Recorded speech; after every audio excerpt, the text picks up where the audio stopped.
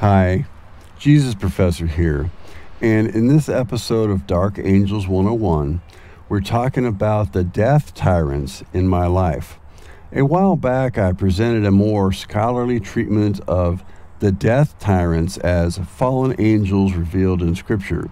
The rulers and authorities in the heavenly realms are consistent over time. So here, I describe how my own life has been subject to these fallen angels of death.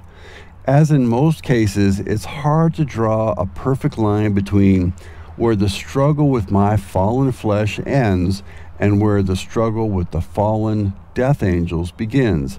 Since Scripture tells us that the last enemy to be overcome is death in 1 Corinthians 15, we expect that this struggle against death will continue to the end. I was a fairly healthy young man, so the main work of the death tyrants in my younger years was blinding my eyes and deafening my ears to all four stages of evangelism.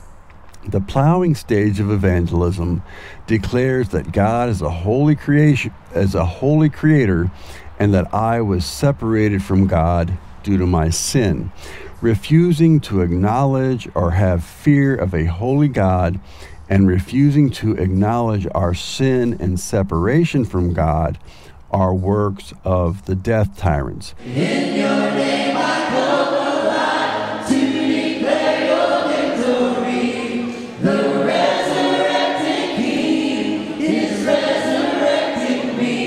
The work of death begins by trying to stop us from seeing that we are spiritually dead.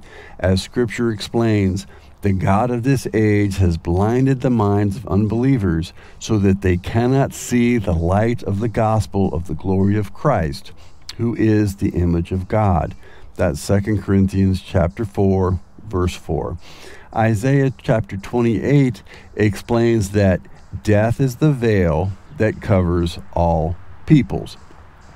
As I approached adulthood, death led me to lay hold of the empty way of life handed down by my forefathers through drunkenness, for example.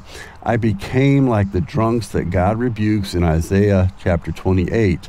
Drugs and alcohol that dull the pain and mute the conviction of the Holy Spirit are like the covenant with death described in that chapter. But the covenant with death will not stand, since we will all rise from the dead to stand before the judgment seat of Christ. As Scripture says, Wake up, O sleeper, and rise from the dead, and Christ will shine on you. Praise God that His powerful word pierced through the veil, and I was brought out of death by the precious blood of Jesus. But the work of death still brought sleep blindness, sloth, and sickness even after I was born again. Disciplines of Bible, prayer, and worship tend to back off the death, but aging and sickness are recurring issues. At times, it can be hard to tell which disease or sickness is just from the fallen condition of death introduced at the fall, and which are due more specifically to the angel of death and his subordinate evil spirits. Two principles have proven helpful here. One, pray for healing before seeking medical care.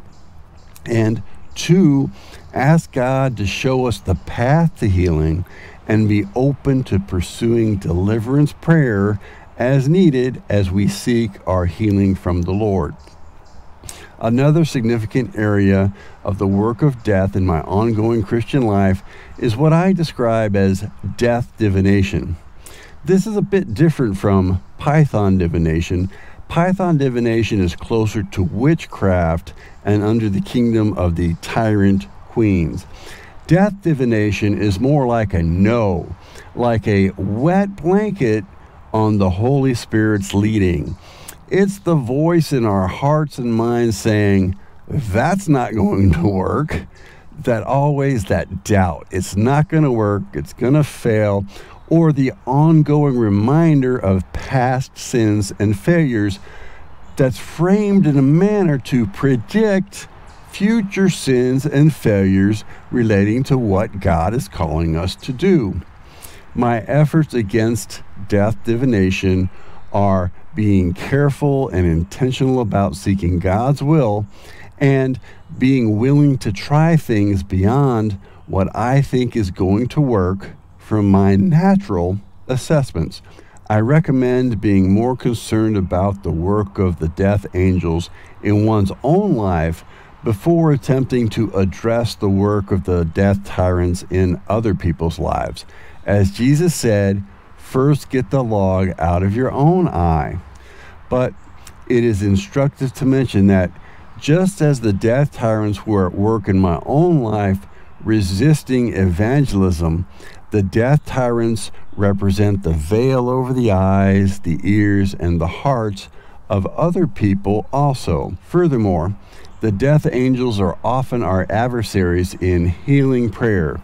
This is why James tells us that confession of sins is important when we seek healing prayer.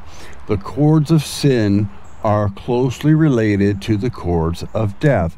Consider Proverbs 5 says, the evil deeds of a wicked man ensnare him. The cords of his sin hold him fast. Psalm 18 says, The cords of death entangled me. The torrents of destruction overwhelmed me. The cords of the grave coiled around me. The snares of death confronted me. In my distress, I called to the Lord. I cried to my God for help. From his temple, he heard my voice my cry came before him into his ears. Now, we don't want to be like Job's friends who assume that there's always sin underlying every sickness and trial. But we can gently ask some questions as we consider the possibility of whether that's true in the specific case that we're dealing with or praying with in the current situation. Heavenly Father, we thank you for the resurrection power of Jesus Christ that's available to us. Help us, Lord God, to come out of the death. Help us, Lord God, to wake up, O sleeper, rise from the dead, and Christ will shine on us. Shine on us, Lord God, we pray in Jesus' name. Wake us up.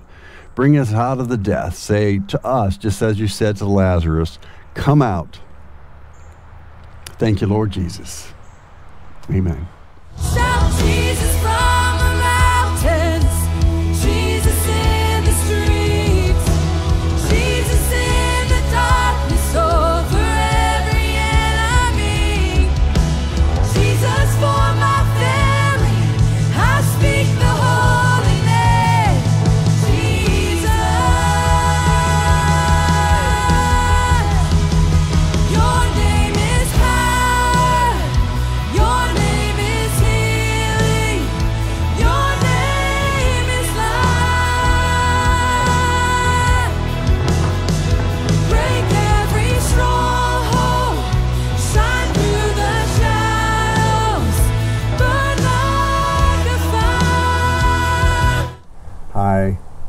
suicide rates are rising rapidly.